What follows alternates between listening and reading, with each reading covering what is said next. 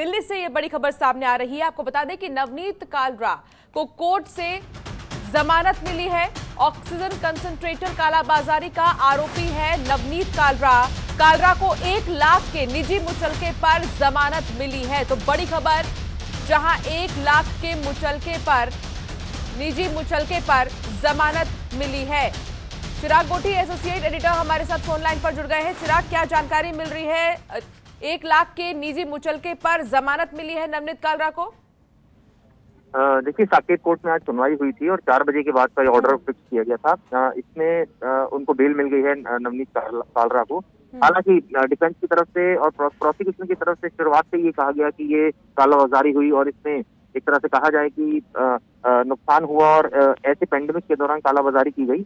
लेकिन जो डिफेंस की दलील थी उनका साफ़ साफ़ ये कहना था कि इस मामले में इस तरह जो निजी लोग थे उनको दिया गया प्लस जो सरकार को जीएसटी भी अदा किया जा रहा था और साथ साथ किसी तरह की कोई कालाबाजारी नहीं थी। अगर ऐसा होता तो जीएसटी पे नहीं किया जाता?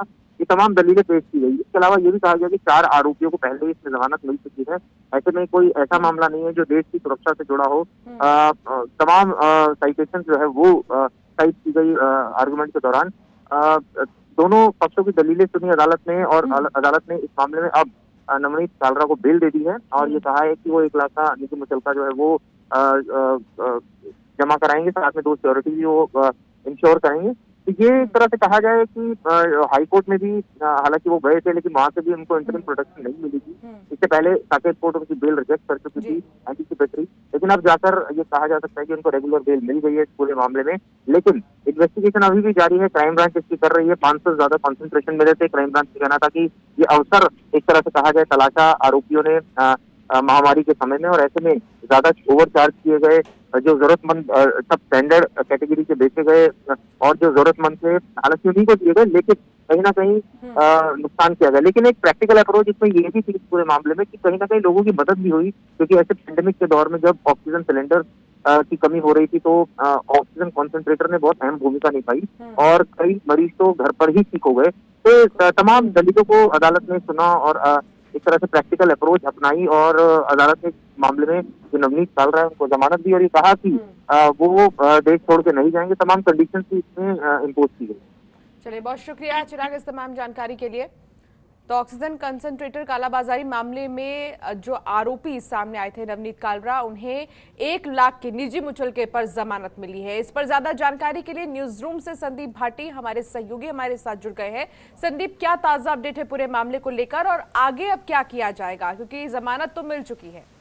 जी, साफ़ तौर पर अंशिका जमानत मिल गई है? हालाँकि कोर्ट ने बाकायदा कड़ाई के साथ कहा है नवनीत कालरा को, आपको जमानत तो दे रहे हैं, लेकिन आप इसके बाद में जो और इस केस से जुड़े लोग हैं, आप उनसे नहीं मिलेंगे और साथ ही आप दिल्ली छोड़कर भी नहीं जाएँगे। तो ऐसे में केस जो है काफ़ी लंबा चलने वाला है, लेकिन आज क्या कुछ हुआ, उसके बारे में अगर मैं आपको थोड़ा बताऊँ तो नवनीत कालरा की तरफ़ से जब कहा गया कि आप कहिए कि आपने इस तरह का अपराध क्यों किया, आपने इतने महँगे रेट पर जो कंसनट्रेटर हैं, वो क्यों बेचे? तो नवनीत कालरा की तरफ़ से साफ़ तौर पर कहा गया कि अगर आप इन्हीं कंसनट्रेटर को अमेजोन या इंडिया मार्ट से खरीदेंगे तो आपको अभी हाल फ़िलहाल में ये कंसनट्रेटर नब्बे से पचानवे हज़ार रुपये के मिलेंगे जबकि मैंने ये कंसनट्रेटर सिर्फ़ साठ हज़ार रुपये में बेचे।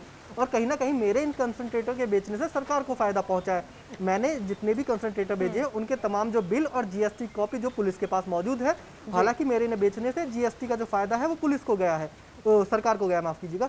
तो ऐसे में कहीं ना कहीं ये दलील जो है, नवनीत कालरा के वकील की तरफ़ से रखी गई, जिसके बाद में नवनीत कालरा को जमानत दे दी गई। हालाँकि पुलिस की तरफ़ से लगातार आरोप लगाए गए थे कि जो नवनीत कालरा के पास कोई लाइसेंस नहीं था कंसनट्रेटर बेचने के वो एक होटल मालिक थे, होटल चलाते थे तो ऐसे में वो आखिरकार ये जो कंसनट्रेटर है, इन्हें क्यों बेच रहे थे? जिसके बाद में जो वकील हैं नवनीत कालरा के, उनकी तरफ़ से कहा गया कि वो सरकार आम लोगों की मदद करना चाहते थे। नवनीत कालरा जो एक बिजनेसमैन है, उन्होंने एक निजी कंपनी के तौर पर चीन से एक कंसनट्रेटर मंगाए थे और भारत में इन्हें बेचा था। हालाँकि नवनीत कालरा के वकील की तरफ़ से ये भी कहा गया कि जो कंसनट्रेटर चीन से लाकर भारत में बेचे गए हैं, जिनको कुछ लोग खराब भी बता रहे हैं, वो खराब नहीं है। यही सेम कंपनी के जो कंसनट्रेटर है, बाकी देश के में भी सप्लाई हुए और इसका साफ़ ताज़ा एक उदाहरण उन्होंने सलमान खान को टैग करते हुए कहा कि सलमान खान ने भी इसी कंपनी के जो कंसनट्रेटर है, वो लोगों लोगों में बांटे थे और इसका एक ट्वीट जो है अदालत में वो पेश किया गया। हालाँकि कोर्ट की तरफ़ से एक सख्ताई दिखाते हुए कहा गया कि आप इस बयान सलमान खान को बीच में लाके अपने जो अपराध है उससे बच नहीं सकते। हैं हालाँकि कोर्ट ने साफ़ कर दिया कि ये जो केस है आगे चलेगा, जो जाँच है वो आगे बढ़ती रहेगी, लेकिन आज जो जमानत है नवनीत कालरा को वो दे दी गई है अंशिका चलिए, बहुत शुक्रिया संदीप इस तमाम जानकारी के लिए। तो फ़िलहाल आपको बता दें कि ऑक्सीजन कंसंट्रेटर मामले में जो आरोपी पाए गए थे, नवनीत कालरा, उन्हें एक लाख के निजी मुचलके पर जमानत मिल गई है, लेकिन तमाम बातचीत के बाद ही, तमाम शर्तों के बाद ही उन्हें ये जमानत मिली है। खबरों के निष्पक्ष विश्लेषण के लिए सब्सक्राइब करें Jantantra TV and press the bell icon. Never miss any update